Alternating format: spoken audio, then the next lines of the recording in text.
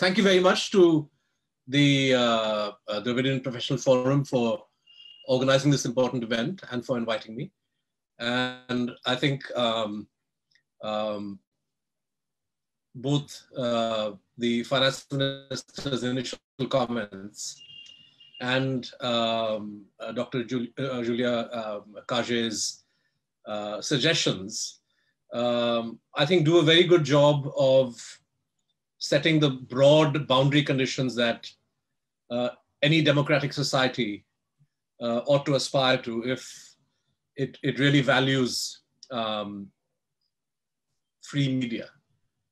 And if it really sees press freedom as an avenue for the deepening of citizens' engagement with, um, you know, social and political affairs and the affairs of the country. So if if the uh, if a government or a polity is committed to empowering its citizens, uh, then it would also have to be in favor of supporting a, a, vibrant and free media. And of course, the prerequisite for vibrant for, for that vibrancy and freedom is that uh, media have adequate financial resources to be able to um, discharge that solemn obligation uh, of, you know, providing information to, to citizens, to readers, viewers, about what's happening in society and allowing them to form an you know, informed opinion uh, on this. Uh, so I think that the, uh, the suggestions, uh, particularly of um, making, say, the allocation of official advertising dependent on uh, certain changes in governance at the level of media houses is a very good one. And I think the, the idea of empowering ordinary citizens, giving them a certain amount of money which they can spend as they see fit, uh, again, um, I think is a very, very good way of um, ensuring some degree of financial independence for media uh, without the government being able to use that as a lever. Uh, in India today, uh, sadly, we are so, um, how should I put it? We are so distant from, we are so, uh, we are so far away from these kinds of debates, imagining these kinds of debates, that uh, I often wonder about whether indeed those who rule this country uh, have any interest in um, vibrant media. Uh, if I were to just focus on government advertising, we know that uh, far from using uh, the fair allocation of government advertising, which is after all paid for by taxpayers, right? So it's not the government's money. This is the money of citizens. Um, far from using it in a in such a way as to promote uh, the principles of, of good journalism. this is used as a means of dispensing favors. It's it's used to, to punish those uh, me media houses that um, don't toe the official line, and and sadly, far from striving for changes in governance that would allow media houses to be more independent, more assertive, and to actually be truer to their professional, you know, to their to their trade craft. Uh, the government actually has a vested interest in promoting uh, regressive governance practices because the more regressive they are, uh, the easier it is for the government to then um, actually control and direct and browbeat media. Uh, so we are uh, so far removed uh, from the current international debate that I believe democratic societies are engaged in, and uh, the, you know, the, and of, of, which the work of uh, Professor Cagé is a is a fine exemplar. That uh, it's hard to believe, and I think often people around the world, when they engage with what's happening in India, they find it hard to reconcile the image of the world's largest democracy with the with the you know uh, attitude of the government towards the media, which is um, very, very uh, regressive and aimed at, uh, at throttling um, expressions of media freedom that the government, or you know, expressions of journalism that the government doesn't agree with.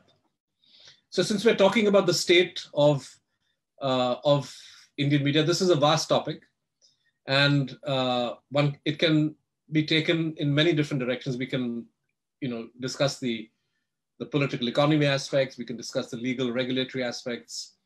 Uh, but I think what I would like to do maybe in five or six minutes is to provide a, just a broad overview of uh, the great uh, paradox of poverty amidst plenty uh, in the media sphere. We have uh, arguably the world's largest number of daily newspapers, the world's largest number of, of news channels. Uh, we don't do private news radio, which is an anomaly and a, and a, and a, and a, and a pretty shocking one if you consider, um, you know, the, even within our neighborhood, the fact that you have private radio, vibrant private radio, say in Nepal, uh, but in India, you don't have private news radio. Um, but if we look at newspapers, TV, websites, there's no shortage of platforms. Uh, there are literally hundreds and thousands of platforms. But um, what you have, if we were to look at television, is uh, the sort of relentless monotony of not just mediocrity, but of a kind of coverage, I hesitate to call it journalism, that is, um, of course, sensational, but also inflammatory, that uh, uh, happily plays to the government's tune and furthers its agenda, uh, blatantly mixes news and views. In other words, has raised editorializing, uh, which Mr. Ram has spent the better part of the last two decades counseling the media against. Uh, television has raised this to a, a, a high art. And uh, in newspapers too, the situation, of course, is, it's slightly better. It's not as bad as in uh, TV, but uh, but in newspapers too, uh, you find a, an unwillingness to actually um, report critically about what's happening in the country. So report critically, particularly when it comes to assessing the government's actions, particularly when it comes to assessing the role of key leaders and individuals like the prime minister, the home minister, there's a great reluctance to, um, to subject these individuals and their policies to the kind of critical scrutiny that uh, any democratic society would expect of its media. And the reason for this, uh, reticence on the part of uh, a large section of our print media and virtually the entire section of uh, television, barring a few honorable exceptions, is that uh, the business model um, that informs, you know, the business model that under, under, undergirds the, the, the media industry is, is one that lends itself to, uh, to state capture in one way or the other.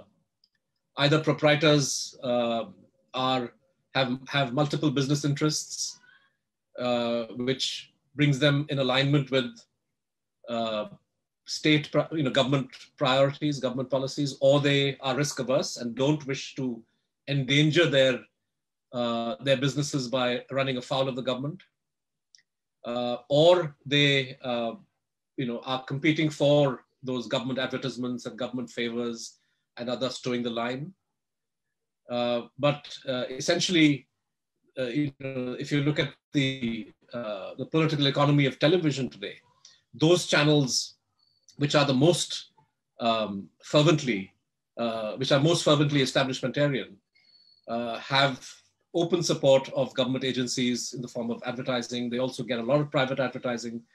Uh, you know, they may argue that, well, this is because we are popular channels, but uh, there is actually no objective measurement of uh, you know the ratings uh, itself, the rating system itself was a scandal, and uh, so so I think that uh, the uh, section of print and TV which is holding out and doing its job and the Hindu is obviously one of the you know one of the papers that's fighting the good fight.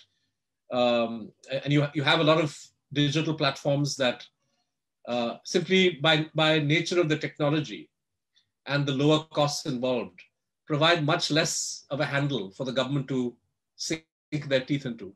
Uh, so it's it's uh, so so you see a lot more uh, feisty journalism happening um, on the digital on digital platforms.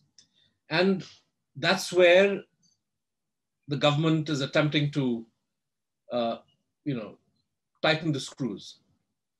And I'll just mention two or three things before I wrap up because it's impossible to speak about the state of the Indian media without uh, speaking frankly and openly about the kind of threats that uh, journalists and uh, media houses face today in India. And these threats have far surpassed what used to be the traditional threat, which was of defamation. So uh, every every editor worth her or his salt, by the time of their retirement, would have faced several, if not dozens, of defamation cases, all useless, frivolous cases, uh, filed purely as a means of harassment and intimidation, and uh, you know, in a way, we we had gotten used to dealing with that kind of threat. What's new now is the filing of criminal charges against reporters, against editors for, for journalistic work.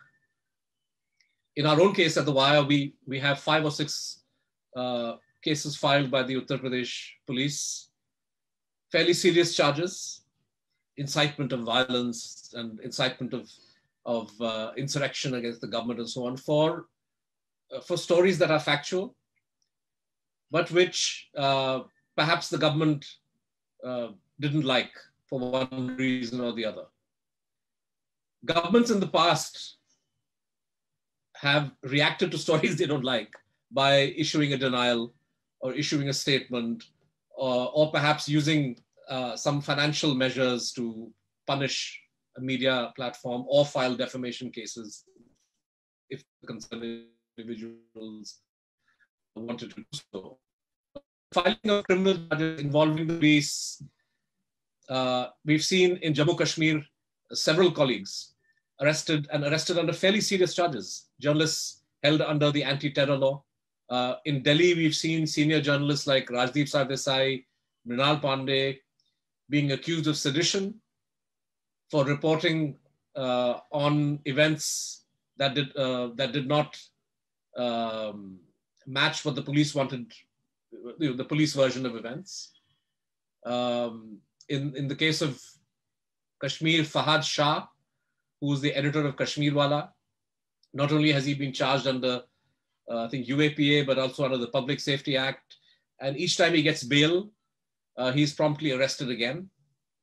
Uh, so, so this this use this the ease with which the police now are resorting to police cases.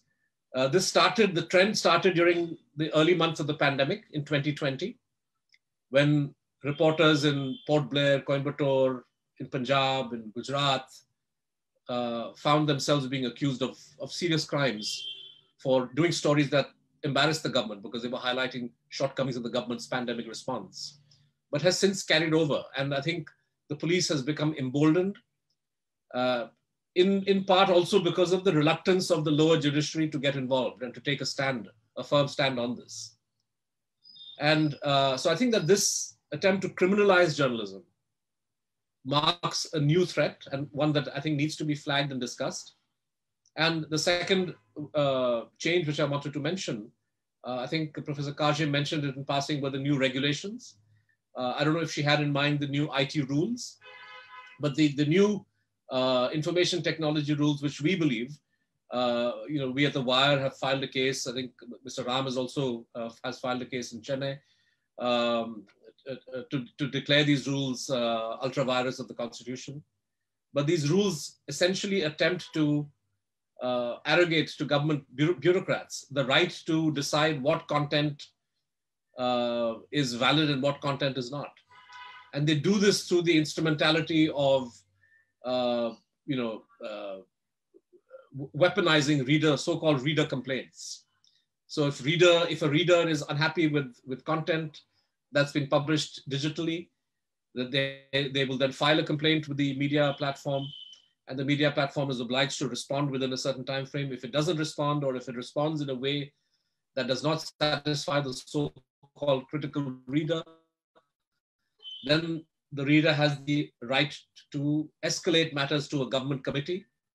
And the government committee will then take a final call on whether the story to which this reader has objected uh, should be taken down or not. Now, it, it, it doesn't take uh, uh, too much thinking to, to realize how dangerous it is to give governments this kind of power, this kind of authority, uh, and how uh, uh, abuse is built into this. So I think this is something which all of us need to fight. We are fighting it in the court.